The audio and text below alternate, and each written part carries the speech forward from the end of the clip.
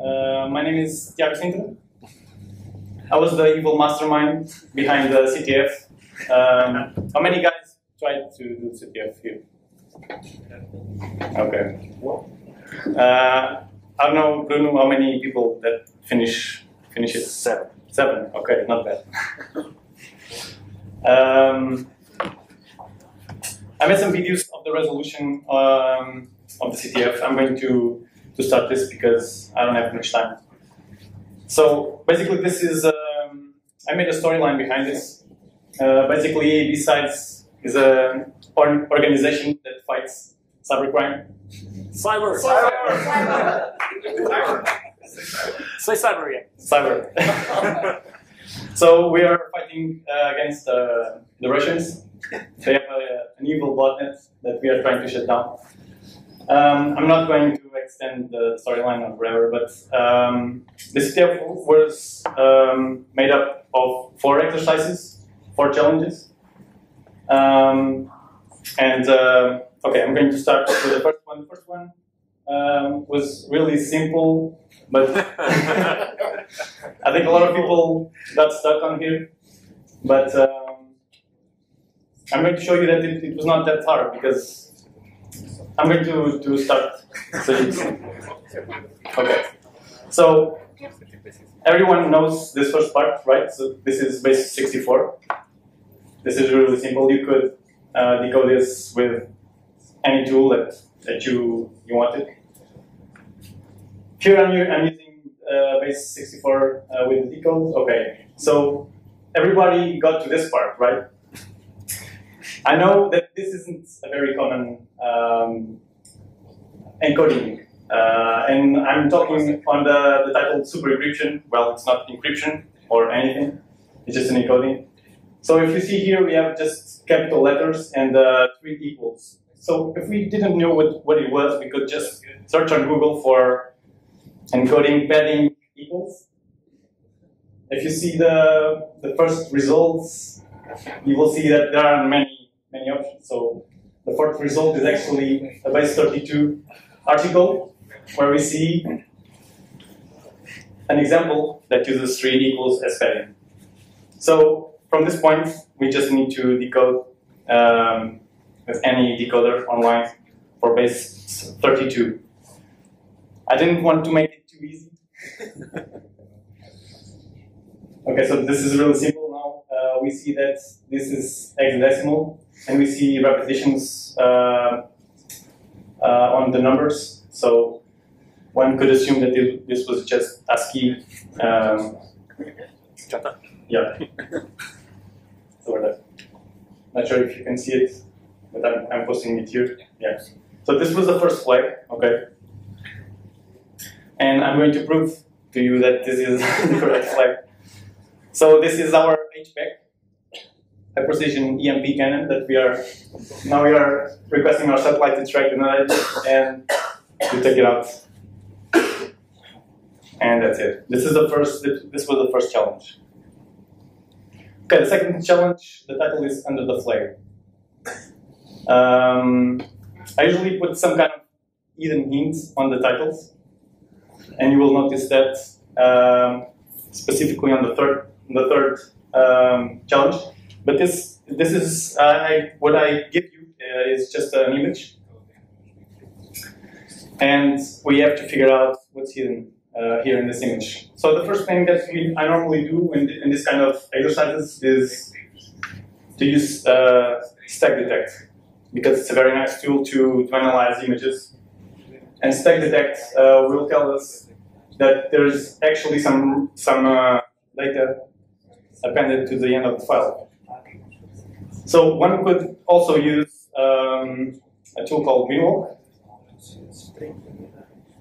And Binwalk will also tell you that there is um, a zip file, an encrypted zip file at the end of the of this image. So from this point onwards, you just need to um, to unzip the file. So I'm copying the, the file to a, a zip extension and then un- unzip it. It's asking us for a password, and Binwalk also tells us that it's an encrypted archive. So we need a password. Um, I'm showing here that there's actually a password. um, so right now we need, we need to find out what the password is, and the password must be hidden somewhere inside the, the image file because it's the only thing that I can give you. so uh, there's a book called a tool called EXIF tool, which um, spits out lots of information about the new, uh, about the image. Um, and an interesting uh, property is the user comments. Um, you see that it's kind of strange. So I'm going to show you that you could also see this information on Windows. On Windows, is it's really simple. You just have to go to properties on the details, and it's right there, the comments. Again, um, you could you could identify that this is just ASCII uh, in in hex.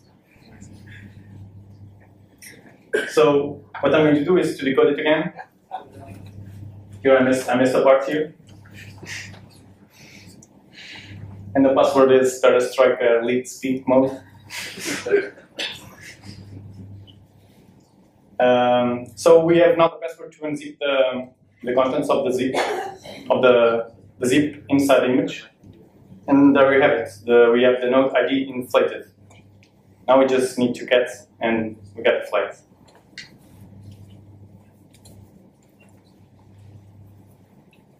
Pretty simple. Again, I'm, I'm transmitting this to our satellite. and it's firing an EMP blast. So we got two nodes now, and we're going to the, the third uh, challenge. Um, this this challenge was interesting. uh, the people were really creative. so basically, what I'm saying here is that um, we intercepted some some uh, some network packages, um, some network packets, and we need to analyze it. So I I give you a link to a, a PCAP file.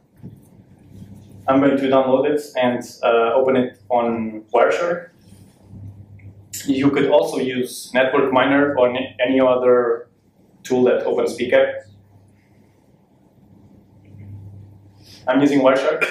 when you open the file, um, this is where things get complicated. I try to do this as simple as possible. So, in my opinion, um, it would be very straightforward, but people got um, Creative. creative in this one.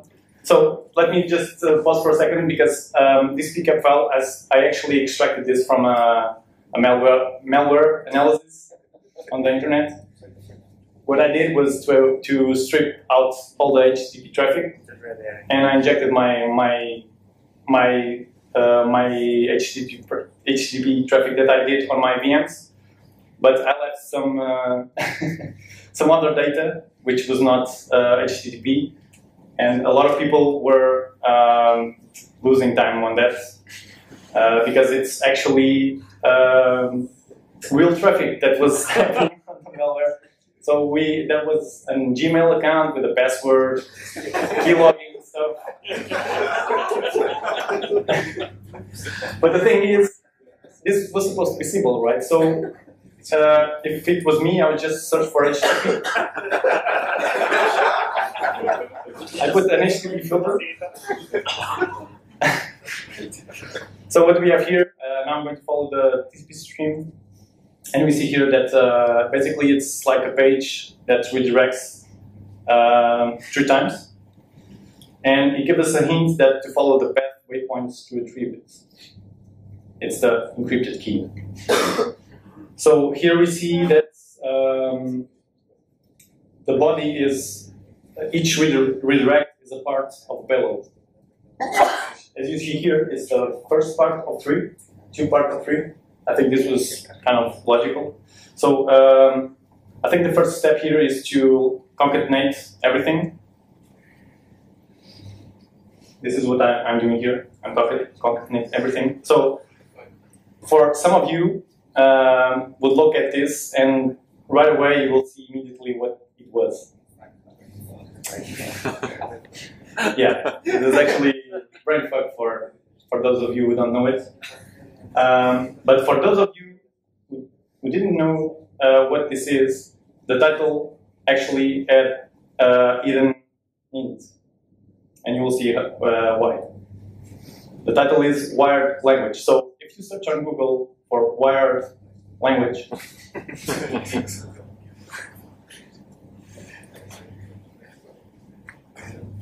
I'm going to search on Google for wired language. And notice that Google uh, corrects you and suggests that it's weird language.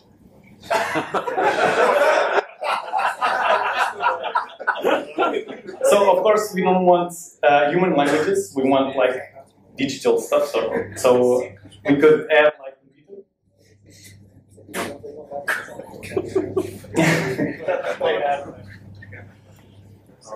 You're evil. Yeah. like computer languages, because that's what we are talking about right here. So any one of these links will show you uh, right away what it was. So I'm going to open the, the second one from Wikipedia, which is a very trustworthy source. Uh, and uh, they're talking about esoteric programming languages. So I'm going to scroll down a bit, and there are examples for each each uh, weird language and scroll, up, scroll down a bit more. There's Ante Arnold Schwarzenegger, which is very awesome. and there we have it. We have um, an example of brainfuck language. Okay. So right away we will see that uh, it's brainfuck. So what we need now is just to decode this using a, a brain decoder.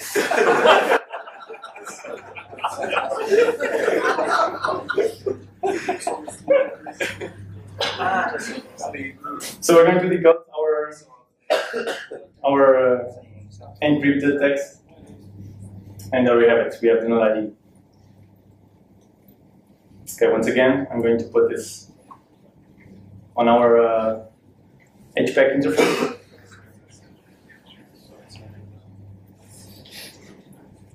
I think this this this, uh, was a lot of fun to, create. okay, and the, the last challenge um, was a very simple reverse engineering um, challenge. Not anything near remotely like what Marco did. um, maybe for next year it's a MIPS32 architecture. so what I'm seeing here that is that um, we found the port on a machine that allowed us to download a botnet uh, client. So I don't download this client, and um, I'm going to open it for you. Of course, it's very uh, you could run this without any problems because it's a malware client, right? so it, it's basically checking, uh, it's asking us for an encryption password. Since I don't know what the password is, I'm going to put something, and it says invalid password or checksum. So uh, one thing that you could be tempted to do was to, okay, maybe it's asking us for a password, but uh, passing that password phase, the node ID uh, will be uh, outputted right away. So one could uh, think that, okay, let's search for strings in this executable. Um, minus n19, which is the, the size of the, the node ID, if you if you think it, it's 8 plus 3, uh, 16 plus 3. Uh, but if you notice, um, there is no node ID here. That's because I've encrypted it. Uh, it's using a short encryption, so you'll never you will never retrieve it just by strings using strings on this executable.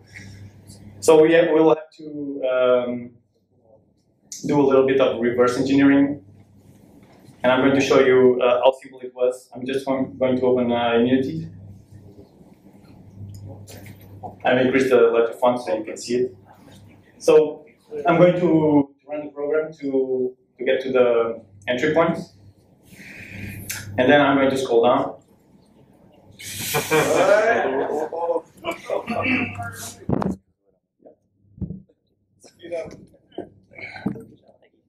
The computer wants hear. Nine percent. It should do.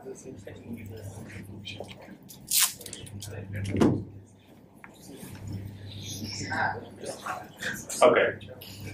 So I'm going to scroll down a bit on the, the code to get to the to the interesting stuff. We already know that the program is asking us for encryption encryption password. So here we'll we'll find the printf of that of that uh, string, and then we here we see that the program is asking us for a password, and now we see the, the good stuff here. So if, if you notice here, it's the logic between getting an invalid password or a password accepted. So a simple way to, to check this would be uh, to find reference for this password accepted uh, line. So we see that Immunity gave us that the a reference is this jump. So it's, it's just a, basically it's just a jump, if not zero. So if you reach here in the code, um, I'm going to put a breakpoint here and uh, run the code. Eventually, the, the, the, the code will uh, reach this part and uh, make the validations of the password. So I'm going to put something which is not the password, obviously. Um, so we are seeing here that the immunity uh, is telling us it's, it's a breakpoint and it's telling us that the jump is, will not be taken. So we want to take this jump because we are we want to go to the password accepted, not the invalid password. So this is really simple uh, because uh, oh yeah by the way uh, EAX is zero and is comparing to zero, so that's why it's uh, it's not jumping because uh, it will jump only if it's not zero. So what we can do here is very basic. It's just we switch switch the jump if not zero to jump if zero. And this was one of the many solutions. You could. I heard that there are some people that change uh, the beats of the flag of the comparison, the beats, or of AEX. You could go lots of ways. Here I switched to 74, which is the jump if equal. And now we see that the immunity is telling us that the jump will be taken. So right now I'm going to, to do a step over and actually see the code uh, jumping to the password accepted. And there we have it. Now I'm going to run and the prog- program will decrypt the password and give us the, the node ID. I'm going to, move, to put this on a notepad so you can see it. And there you have it. We find the, the last flag and the main uh, command and control uh, node ID.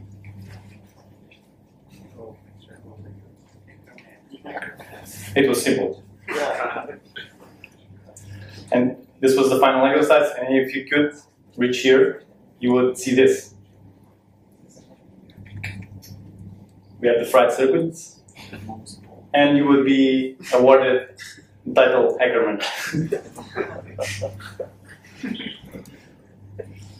okay, this is it, guys. I hope you enjoyed it.